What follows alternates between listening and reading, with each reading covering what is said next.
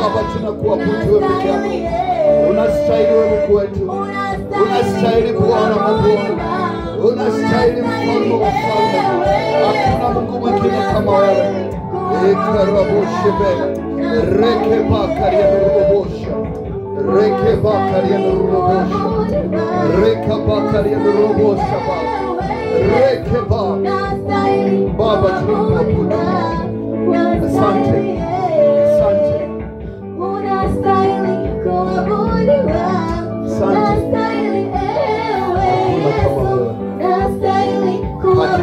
Jina la Yesu tumeabudu. Naomba mshangilie Bwana kwa makofi. Mwambie asante Baba. Tuombe. Mfalme Mungu wetu, Jehova ndilo jina lako. Wewe unayeketi katikati ya makerubi, ukitawala na kutamalaki mbingu na nchi. Asubuhi ya leo, kwa damu ya thamani, kwa jina lilokuu na jina la mwanao Mungu aliye hai Yesu Kristo, tunasogea mbele zako, tunakuabudu Bwana, tukitupa taji zetu, tunakuhimidi Jehova, mfalme Mungu wetu, kwa makuu yako. Asante kwa upendo wako juu yetu. Pokea sifa na shukrani katika jina la Yesu. Baba, ndipo sana kuja mbele zako, mioyo yetu imejaa mahitaji mengi. Tunaomba kupitia neno lako la uzima Bwana, kwa kutana na mahitaji yetu. Nena katikati ya kusanyiko hili Bwana, tufundishe, tupe kibali kwa maombi yetu. Karibu Roho Mtakatifu, kiongozi wa huduma, ongoza ibada hii kuanzia sasa, katika jina la Yesu, na wote tuseme amen mara tatu tukiketi.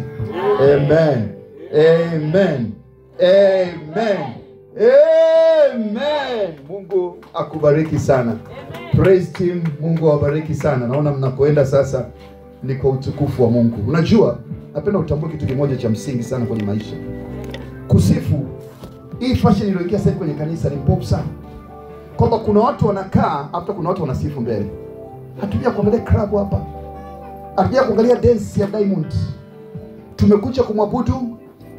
Kila mwenye pumzi anapaswa kwa ukiona unatakiwa uinuke umsifu Bwana, kubali kuinuka kumsifu Bwana. Acha mambo ya dini. Dini nakwambia, mnaenda kwaya, imeimba vizuri, kwaya inuke sasa itusifu, itumbuize. Pendwa, hiyo ni dini, hiyo ni laana. Wewe ni nani unatumbuiza na kwaya ambayo imeandwa na Mungu? Kwa Mungu anataka uinuke kwa mikono yako, kwa kichwa chako, kwa miguu yako, kwa mikono yako, ufanye nini? sifa. Kwa unaposikia wakati wa sifa, jiachie. Kuna watu wengi na shuhuda zao mimi, ambao walipoenda kumsifu Mungu magonjwa yaliachiliwa, walipoenda kumsifu Mungu mimba zilipatikana, walipoenda kumsifu Mungu kazi ilipatikana. Usizani ni bure, atumwamini mwanadamu. Atujaji hapa kwa ajili ya sako, tumekuja hapa kwa ajili ya nani? Sisi ni wawakilishi tu, lakini yupo aliye mbinguni ambaye hawezi kujisifu mwenyewe. Nilikwambia siku moja, jambo ambalo Mungu hawezi kufanya ni kufanya nini? Kujisifu.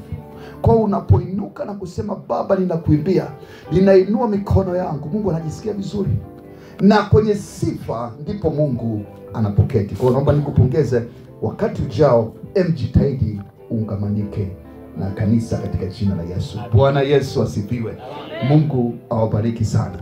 Asubuhi somo letu kwa ajili ya sehemu ya kwanza ya ibada, tunaenda siku ya mwisho ya mwezi wa nne, na siku utakapopita tutaingia mwezi unaitwa mwezi wa tano. Mwezi wa nne ni mwezi wa Roho Mtakatifu. Mwezi wa tano tutakwambia Jumapili ijayo kuna nini Mungu ameongea nasi, lakini tunapomaliza mwezi wa nne wa Roho Mtakatifu, natamani tuwe na somo maalum na kujifunza juu ya hatima ya maisha, hatima ya maisha au funguo za hatima ya maisha, funguo za hatima ya maisha. Mpendwa, ukimchukua samaki nyangumi wa baharini, mkubwa, anatisha, anaweza kumeza hata watu hamsini kwa wakati mmoja. Ni kitu kikubwa, wengi tumeona kwenye picha, lakini juzi wale walikuwa wanaangalia mitandao kule Zanzibar, alitokea nyangumi akawa anatembea pembeni ya maboti ya wale wa samaki. Ni linyama likubwa, nafikiri kama jengo lote ni kubwa mno, ni mashuhuri kule baharini. Lakini ukimchukua yule samaki ukamleta Zuzu ukamweka hapo, anafanya nini? Anakufa. Unaweza kuchua simba porini anavyokamata wanyama, anavyowapiga, anavyokula nyama vizuri, lakini ukimchukua simba ukamleta Zuzu, anafanya nini? Watamuua. Haijalishi wewe Mungu amekupa vipawa gani ndani yako, kama utakuwa katika mazingira ambayo hayakuruhusu kukua, utakufa. Nilikwambia siku moja, sehemu ambapo vipawa vingi vimekufa, sehemu yenye utajiri mkubwa katika uso wa nchi ni wapi? Kaburini. Ndipo utakuta waimbaji wakubwa ambao wangekuwa wakubwa katika nchi wamekufa, kina Rozi Muhando wengine ambao wangeinuka, vipawa vimekufa, wamekufa kabla wakati. Tutakuta wahubiri wakubwa kina Moses Kulola wamelala kwa sababu walikuwa katika mazingira yasiyotimiza hatima yao kwa wakaishi kama watu ambao ni watu tu wa kawaida, lakini kumbe ndani yao Mungu alikuwa ameweka vitu vikubwa. Inaitwa hatima ya maisha. Kila mtu hapa anahitaji mazingira mazuri ili hatima yake iweze kutimia. La kwanza ni kujua hatima ni kitu gani, na la pili ni kujua namna gani unakutana na hatima yako. Ngoja nikwambie kitu, haijalishi ukachukua gogo ukaliweka kwenye maji ya mto kwa muda wa miaka ishirini alitakuwa samaki. Haijalishi utafanya nini kwa ajili ya gogo ndani ya maji, hata ukalimbia na nyimbo, siku zote litaendelea kuwa gogo. Lakini lile gogo likichukuliwa, linaenda kukaa kwenye ikulu. Lile gogo likichukuliwa, linasafirishwa mpaka Ulaya. Lile gogo likichukuliwa, linasaidia kutengeneza maboti na mitumbwi. Lile gogo likichukuliwa, linaweza kusaidia kutengeneza hata fanicha ambazo zinatufuata kwa ajili ya kumhubiri Yesu. Kila kitu Mungu alipokuba wewe, kuna kitu amewekeza ndani yako ambacho ukikijua, kikitumika, kinaweza kuleta matunda makubwa na mafao makubwa katika maisha yako. Inaitwa atima inaitwa atima Kama hujui hatima yako, wanasema aluta continua, utaendelea kuwa na mapambano, mapambano kila siku katika maisha yako yote. Hatima ni nini? Hatima ni mpango wa Mungu juu ya maisha yako. Ukisoma kitabu cha Mwanzo ile sura ya kwanza ule mstari wa 26 na 27 tunakutana na habari juu ya hatima mwanadamu, ambapo Mungu ameweka wazi kwamba nini kusudi la Mungu kumuumba mwanadamu. Naomba unisikilize kwa makini asubuhi ya leo. Kwa nini Mungu amekuumba wewe? Wewe ni nani katika dunia hii? Unapojitambua ndipo unapata ujasiri wa kujua ufanye nini. Mwanzo sura ya kwanza mstari kuanzia wa 26. Sikiliza kwa makini, anasema Mungu akasema, na tumfanye mtu kwa mfano wetu, kwa sura yetu, wakatawale samaki wa baharini na ndege wa angani na wanyama wa nchi yote pia na kila chenye kutambaa kitambaacho juu ya nchi. Mstari wa 27, Mungu akaumba mtu kwa mfano wake, kwa mfano wa Mungu alimuumba mwanaume na mwanamke aliwaumba. Mungu akawabarikia. Wewe umebarikiwa, sema nimebarikiwa, nimebarikiwa. Yoyote aliyesema. Yoyote, sema sema sema, yoyote aliyesema. Mimi nimelaniwa, ninakataa.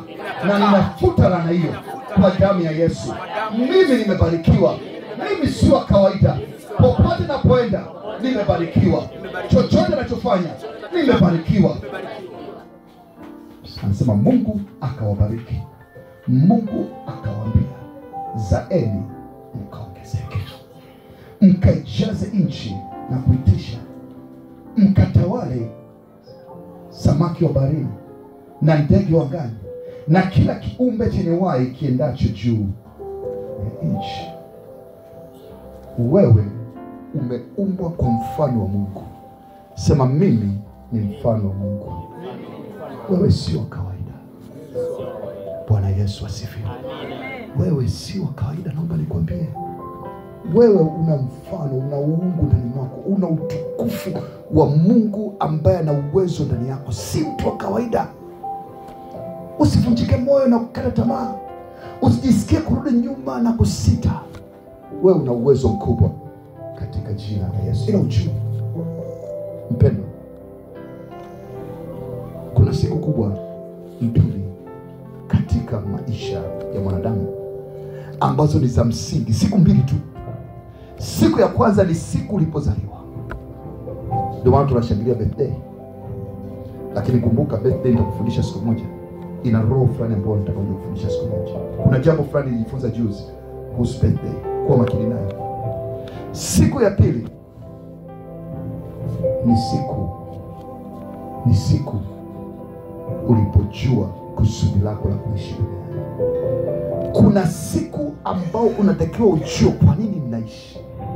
Kwa nini niko duniani. Usipojua utakuwa samaki ambaye anaishi katika nchi kavu wakati ambapo alitakiwa kujua aweze kuishi katika bahari.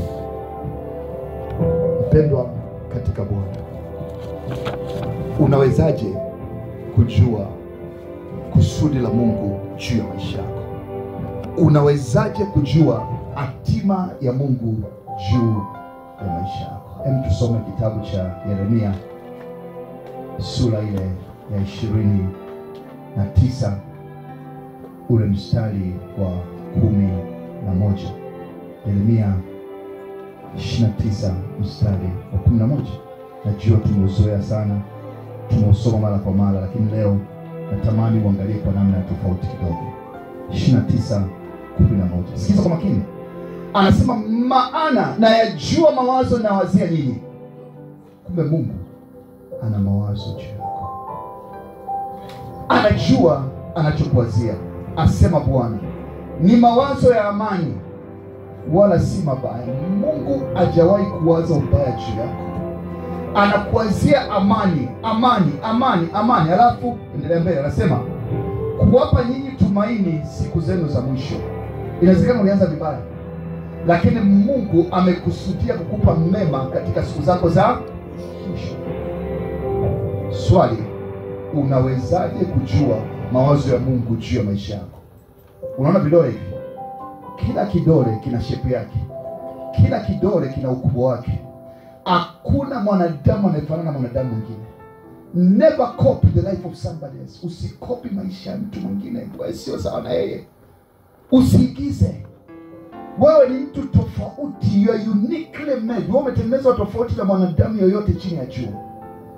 Swala hujajua tu kusudi la mungu katika maisha yako.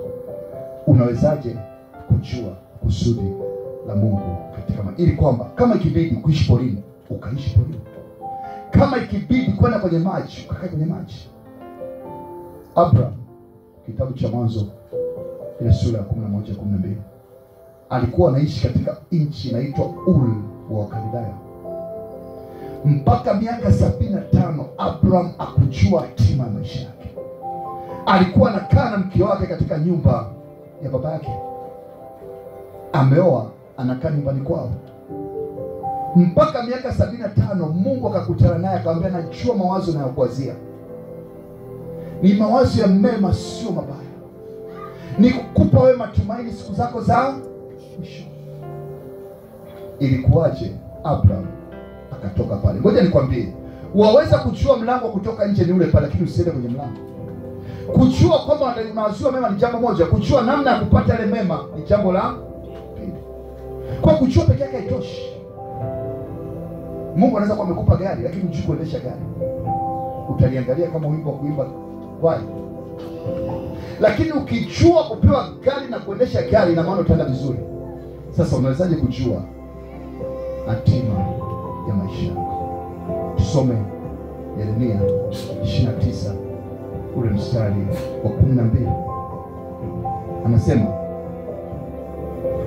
nanyi mtaniita mtakwenda na kuniomba nami nitawasikiliza. Ala Kumbe kujua hatima inabidi umwite Mungu. Baba, kwa kweli nimechanganyikiwa, ninaishi maisha sielewi yanaelekea wapi, nimetafuta sielewi na kwenda wapi, naomba niweze kujua hatima. nani mtaniomba nami nitawasikia. Asubuhi ya leo unapoenda kumwomba Mungu kwa ajili ya hatima yako, Mungu atakupa mlango wa kutokea. Inawezekana kabisa. Wangapi umeona reli inapopita treni pale barabarani? Bwana Yesu asifiwe. Ukiangalia treni inavyopita kwenye leli inakuwa nzito, imebeba mavitu makubwa, lakini treni ukilichukua ukalileta barabarani, barabara ya lami nzuri, inafanyaje? Inawezekana wewe ni kwa sababu umekaa kwenye barabara ya lami wakati utakiwa kwenye reli. Kwao unakuta mambo yamesimama kwa sababu unaendelea kuishi kwenye barabara. Ukizani ndio barabara ni safi inafagiliwa. Kumbe unatakiwa ukae kwenye reli ambayo ina matope matope ambayo ina, ina mchanga chini ambayo ina mawe chini. Unajuaje uko nje ya reli? Biblia anasema kuna njia moja tu. Anasema nanyi mtanitafuta mta, na kuniona mtakaponitafuta kwa moyo wenu wote asubuhi. Natamani uamue kumtafuta Mungu kwa moyo wako wote kupitia maombi ya asubuhi, ili Mungu akurejeshe kwenye reli. Kuna watu walikuwa kwenye reli, maisha yalikuwa bambam, lakini leo ni ombaomba. Leo wanashida kujua hata wafanye nini katika maisha yao. Asubuhi Mungu anasema nayajua mawazo nayokuwazia ni mawazo ya heri, sio mbaya, kukupa wewe matumaini siku zako za sasa. Tunapoingia katika mwezi wa tano, ninatamani kila mmoja wetu achukue hatua ya kuomba. Biblia inasema kwamba Bwana Yesu wakati anaondoka katika kitabu cha Yohana sura ya 16 mstari wa 24 akasema, ndipo siku ile mtaniomba kwa jina langu nami nitajibu. Andrea anasema ombeni basi, ombeni basi, ombeni basi, furaha yenu itimie. Formula, njia pekee ambayo Mungu ameweka kwa ajili ya kukutana na hatima yako ni njia gani? Maombi. Tunapoenda kuomba asubuhi ninaona unaingia mwezi wa tano ukijua unakwenda wapi na umetoka wapi. Mungu atafunua hatima yako kupitia katika ndoto, atafunua hatima yako kupitia watu unaokutana nao. Kuna njia mbili. Baada ya kuwa umeomba leo, Mungu atakufanikisha. Kuna njia mbili. Ninaweza kupa ushuhuda moja. Juzi nilikuwa niko nyumbani, juzi jana, juzi, na nilikuwa na mahitaji fulani ya pesa na nilitamani nipumzike kwa sababu nilikuwa na kazi kubwa katika wiki nzima. Kwa nikawa nimepumzika kidogo, nafanya mambo fulani, simu yangu ikaita, akaniambia wewe ndio fulani? Nikamwambia ndio. Akaniambia njoo tukutane sehemu fulani. Nikamwambia sina nafasi sasa hivi, naweza kuja saa saba. Akaniambia njoo na uje upesi Moyoni mwangu kalisikia vibaya, nasema mbona anipa amri huyo, hata ni mwanamke sasa. Bwana Yesu asifiwe. Sisi kule Wahaya wanawake huwa hatupendi kwa kusikiliza sana, lakini kwa sababu tumepewa roho ya unyenyekevu. Bwana Yesu asifiwe. Nikaamua nimsikilize, akatupa amri kali. Kwa fika saa saba nikaondoka, sijui naenda kutana nani, lakini najua ofisi aliniambia niende. Kwa nikaenda, tukaenda kwenye ghorofa moja kama ya tisa kaniambia sasa kuna kitu fulani cha kufanya wakati fulani, uko tayari? Nikamwambia ndio, na uwezo huo. Kaniambia sasa, umetoka huko nyumbani kwako umekuja hapo? Nimetoka nyumbani, gari yangu inawaka taa kwa sababu sina hata mafuta, kwa kidogo nimetumia pesa kwa vitu fulani. Kwa hiyo akaniambia, lakini sasa umekuja mpaka huku umepoteza muda, hem, kiasi fulani cha mafuta zaidi ya kile ambacho inatakiwa. Bwana Yesu asifiwe. Kwa hiyo nikaondoka kwa. Unapokuja kuomba maombi kama ya leo, Mungu atawafanya watu wakupigie simu. Bwana Yesu asifiwe. Watakuita kwa ajili ya kazi ambayo utakuwa kidogo tu kinakupa pesa kwenye uweze kuishi. Hatima unakutana nayo, Mungu anakuungamanisha na watu sahihi. Kuna wengine simu zao zinapokea misiba tu, habari za kuchangia tu, hakuna siku simu yako nakupokea neema. Inapatikana kwa njia ya maombi. Maombi yanajibiwa kwa vitu viwili. Moja, Mungu anakukutanisha na watu sahihi kwa ajili ya kufungua hatima yako. Hakuna kitu kibaya kukutana na watu wa hovyo katika maisha yako. Kuna watu kwenye maisha yako utaki kukutana naye hata kidogo, kwa sababu watakuharibia maisha. Kama ni mke afai, kama ni mume afai. Tunapoenda kuomba asubuhi ya leo, ile ile neema iliyonifanya kutana na watu ambao wamefungua maisha na kulipa pesa inaenda kushuka juu yako katika jina la Yesu. Kuanzia baada ya maombi mwezi wa tano, kutakuwa na shuhuda za watu kupokea simu ambazo hawajawahi kuzisikia. Watu watakutafuta kwa sababu unanukia vizuri na Bwana anaongea nao. Bwana Yesu asifiwe. Unapoenda katika hatua hiyo, kuna jambo linatokea. Kwa hatua kubwa ya kwanza, inaweka daraja kwa ajili ya kukutana na watu sahihi. Kama Yusufu asingekutana na watu wanaotembea kule barabarani kwa ajili ya kupata watumwa, asingefika Misri. Kama Yusufu asingekutana na yule mwonyeshaji kwa nyumba ya mfalme, asingefika kwa mfalme. Kuna watu ukikutana nao wanakutoa pale ulipokuingiza katika maji ili ukawe samaki katika maji. Kuna watu kutana wanachukua ile reli iliyoanguka katika maisha yako na kuirudisha kwenye reli na kuanza kutembea. Bwana Yesu asifiwe. Asubuhi ya leo yuko Mungu anayeweza kufanya jambo la tofauti kwa ajili ya maisha yako. Amen. Tusimame, naomba wimbo mmoja wa kuabudu, halafu jiandae. Lakini kabla ya kujiandaa, hebu omba Mungu akusamehe. E Baba, naomba unitakase, nimetumia akili zangu sana, lakini unatakiwa tuungamanishwe. Ngoja nikwambie, samaki kwenye bahari, haijalishi kwamba amekuwaje. Samaki kwenye bahari hawaombe hata Mungu, lakini wanaishi. Nyangumi alizaliwa alikuwa mdogo, akakuwa akawa mkubwa, lakini Mungu anampa chakula. Miti ya kondeni haitumii nguvu, Mungu anaipa chakula, kwa sababu Mungu ndio ana mamlaka ya kutamalaki maisha ya watu. Acha kustruggle kwa akili zako, hutakwenda mbali. Mwambie Baba, nisamehe kutumia nguvu zangu nyingi, naomba unisaidie nijiungamanishe na nguvu yako ili nipate mtoko na mpenyo kwa ajili ya maisha yangu. Baba, ni rehemu katika jina la Yesu. Nimechoka maisha ya kubangaiza, maisha ya kuzunguka katika mzunguko wa roundabout. Nahitaji neema ya kusonga mbele, kwenda mbele katika jina la Yesu. Ongea na Mungu wako asubuhi ya leo. Hebu ongea na nafsi yako, mwambie Baba, fungua kinywa chako, ongea na Mungu wako, mtamkie Bwana, ongea, nihurumie, nisamehe kama kuna dhambi nimetenda, kama kuna kosa nimelifanya, Baba nisamehe, Baba nitakase, Baba nihurumie katika jina la Yesu. E Bwana, fungua njia tena kwa ajili yangu, fungua mlango tena kwa ajili yangu. Katika jina la Yesu.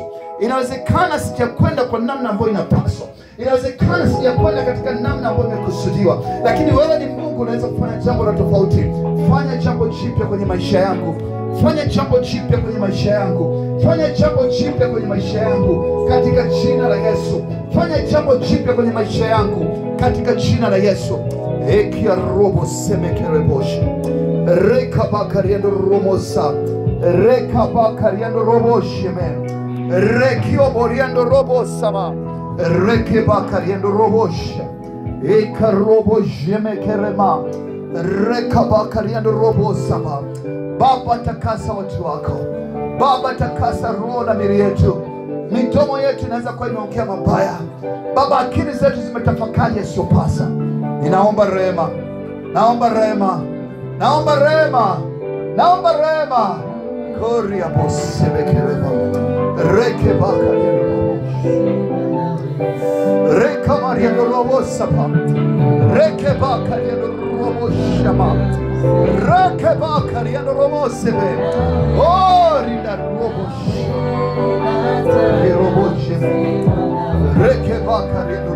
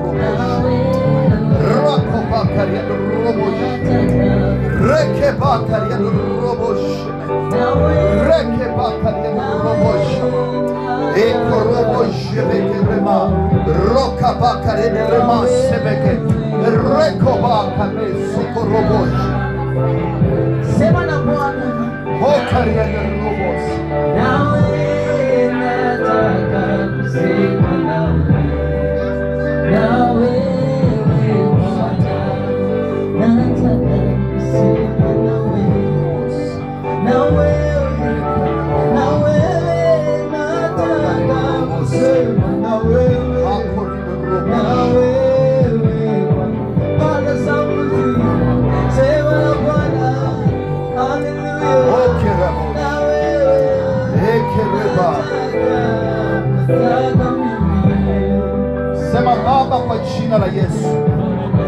Sema Baba, kwa jina la Yesu, ninakuabudu asubuhi ya leo. Wewe ni Jehova, wewe ni Jehova Jaire, wewe ni Jehova Rafa, wewe ni Jehova Senetu, hujawahi kushindwa. Eli shatai Bwana ndilo jina lako. Ninakuabudu asubuhi ya leo, ninakutukuza wewe peke yako. Hakuna Mungu mwingine kama wewe, wastahili sifa Bwana, katika jina la Yesu. Baba, kwa jina la Yesu, tazama leo ni siku ya mwisho ya mwezi wa nne, ninaingia mwezi wa tano. Baba, kwa neema yako utanipa kibali cha kuona mwezi wa tano. Hakika sitakufa bali nitaishi kuona wema wa Bwana. Sitakuwa mgonjwa bali nitakuwa afya njema kulitukuza jina la Bwana. Baba, ninaomba nikijua kwamba mwezi wa nne ni malango ya kuingia mwezi wa tano. Tarehe ya mwisho ya mwezi wa nne ni malango ya kuingia mwezi wa tano. Baba, katika jina la Yesu, ninaomba asubuhi ya leo, malango ya utukufu ya maisha yangu ambayo yamefungwa, malango ya utukufu ya maisha yangu ambayo yametamana, Baba, ajili ya mwezi wa tano, kwa utukufu wangu funguka kwa jina la Yesu, funguka kwa jina la Yesu, funguka kwa jina la Yesu, malango ya utukufu mwezi wa tano kwa ajili yangu, funguka kwa jina la Yesu, funguka kwa jina la Yesu, funguka kwa jina la Yesu, katika jina la Yesu, katika jina la Yesu, katika jina la Yesu. Baba, ninajua uliniumba kwa utukufu ukanibariki, lakini kuna mlango umefungwa kwangu. Naomba mwezi wa tano ninapoingia, Bwana, malango ya utukufu kwa ajili ya pesa, kwa ajili ya biashara, kwa ajili ya utuma kwa ajili ya kazi, funguka! Kwa jina la Yesu, kwa jina la Yesu, kwa jina la Yesu, kwa jina la Yesu, Sema, ewe utukufu wangu ambao umepotea, ewe utukufu wangu uko wapi? Rudi huko kwa jina la Yesu wa Nazareti, kwa jina la Yesu wa Nazareti. Ngoja nikwambie kitu, inawezekana unaweza kwenda kwenye mlango wa mwezi wa nne kuingia mwezi wa tano, lakini una funguo. Funguo haijalishi mlango ukoje, kama una funguo unabaki kibangaizi. Sema Baba, kwa jina la Yesu nanyosha mikono yangu juu. E Bwana, napokea funguo, napokea funguo kwa ajili ya mwezi wa tano. Ewe malango ya baraka, malango ya miujiza, funguka kwa jina la Yesu wa Nazareti, kwa jina la Yesu wa Nazareti, katika jina la Yesu. Ngoja nikwambie kitu. Abraham mpaka anafika miaka sabini na tano alikuwa anakaa nyumbani kwa baba yake. Unaweza kuwa unaishi, kumbe nyumba baba yako inaleta matatizo. Kama baba yako hakufanikiwa, huwezi kufanikiwa. Kama mama yako hakufanikiwa, huwezi kufanikiwa. Kuna mambo yao katika misingi na mizizi ya nyumba unaotoka. Tunapoenda mwezi wa tano, nataka uachane nayo, alafu usikie sauti ya Jehova anayokuambia, nayajua mawazo unayokuwazia nikupa matumaini siku zako za mwisho. Sema Baba, kwa jina la Yesu, naomba maombi haya, omba kukumaanisha. Sikiliza kwa makini, omba kukumaanisha. Maanisha unachokisema na sema unachokimaanisha, kwa omba kwa nguvu zako zote. Sema Baba, kwa jina la Yesu, Baba, kwa jina la Yesu, ninaomba ninapoingia mwezi wa tano, nguvu zozote za kaburi, za kushindwa, za nyumba baba yangu za nyumba mama yangu zinazoshikilia funguo za maisha yangu, funguo za utukufu, funguo za biashara, funguo za pesa, funguo za ndoa, funguo za baraka. E Bwana, ninaomba asubuhi ya leo, kila nguvu ya kaburi inayoshikilia funguo. Kufa kwa jina la Yesu, kufa kwa jina la Yesu. Achia funguo, achia funguo, achia funguo. Katika jina la Yesu, katika jina la Yesu, katika jina la Yesu. Sema kwa moto, kwa moto, kwa moto. Ninarejesha biashara yangu, kwa moto, kwa moto narejesha ndoa yangu, kwa moto, kwa moto narejesha elimu yangu, kwa moto, kwa moto narejesha promotion yangu, kwa moto, kwa moto narejesha ajira yangu, katika jina la Yesu, katika jina la Yesu, katika jina la Yesu, katika jina la Yesu. Sema, ewe afya yangu, uko wapi? Rudi kwangu. Magonjwa, kufa, achia roho yangu, achia mwili wangu, achia nafsi yangu, katika jina la Yesu. Sema, Baba, kwa jina la Yesu, shika tumbo lako kwenye kitovu. Sema, Baba, kwa jina la Yesu, Baba, kwa jina la Yesu, Baba, kwa jina la Yesu, moto. Tembea kwenye kitovu changu, moto angamiza kila kifungo cha uzazi, kila kifungo cha kukosa chakula, kila kifungo cha shida na tabu, angamia, toka, moto, moto, moto, unguza kila malango yaliyofunga hatima yangu. Katika jina la Yesu. Kuna moto unatembea Baba, kwa ajili yako moto, moto unatembea sasa. erobosekerebash kuna moto unatembea, Mungu anafanya kazi, yuko kazini sasa. Na mtu alikuwa mgonjwa anaachiliwa katika jina la Yesu. mekerobosh matatizo ya muda mrefu yanaondoka sasa. rekabakarenderebosa Roho Mtakatifu wa moto yuko kazini. Sema Baba, katika jina la Yesu, asubuhi napoingia kuelekea mwezi wa tano, ninaomba roho ya mafanikio shuka juu yangu, roho ya ufunguo wa kielimu, wa maarifa, wa biashara, wa kazi, wa ndoa, fungua, fungua, fungua kwa jina la Yesu. Sema Baba, katika jina la Yesu napokea funguo wa ndoa ya utukufu, wa ndoa ya utukufu katika jina la Yesu. Kila adui, kila madhabahu ambayo imesema ndoa yangu itakuwa ya shida, ninaamuru madhabahu hiyo kufa kwa jina la Yesu, kufa kwa jina la Yesu.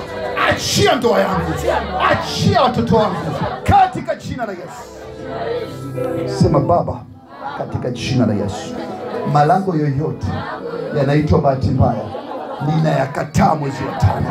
Ewe malango ya bahati mbaya, kufa, kufa kwa jina la Yesu.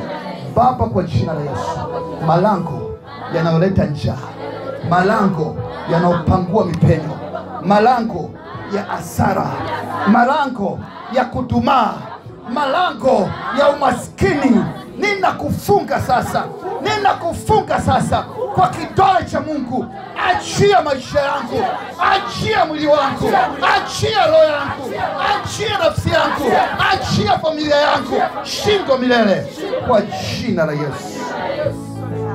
Baba, kwa jina la Yesu, kila nguvu iliyofunga hatima yangu kwa moto wa Mungu. Ninavunja kufuri hilo, ninaharibu hilo kufuri. Kwa ajili ya baraka, kwa ajili ya muujiza.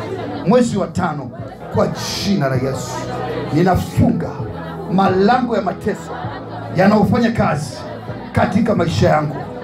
Funguka, funguka malango ya baraka, funguka, funguka malango ya miujiza, funguka malango ya connection katika jina la Yesu. E Mungu wangu, ninakuomba leo, rejesha funguo kwa ajili ya maisha yangu.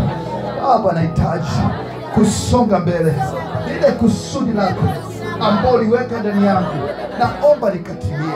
Baba, ninakuita kwa ajili ya maisha yangu, naomba kusudi lako likapate kutimia katika jina la Yesu. Kidole cha Mungu, inuka asubuhi ya leo, inuka asubuhi ya leo, pambana vita vyangu, pigana vita vyangu, lejesha funguo zangu za baraka, ewe funguo ya mafanikio ambao umejificha siku ya leo, sikia sauti ya Bwana katika jina la Yesu, katika jina la Yesu, katika jina la Yesu, katika jina la Yesu.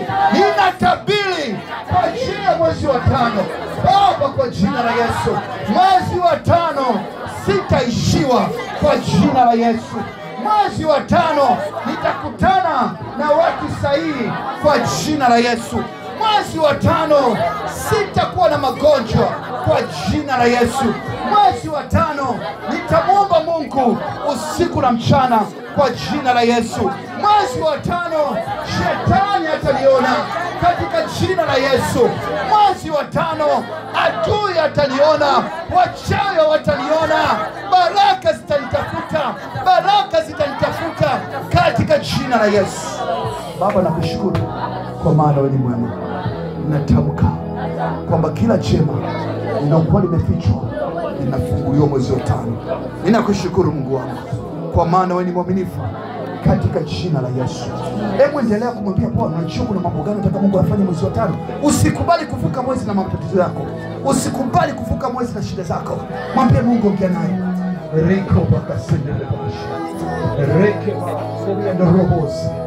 Ekere mashiru robosa. Rekaba kariendo robosa. Rekaba kariendo robosa ma. Rekoba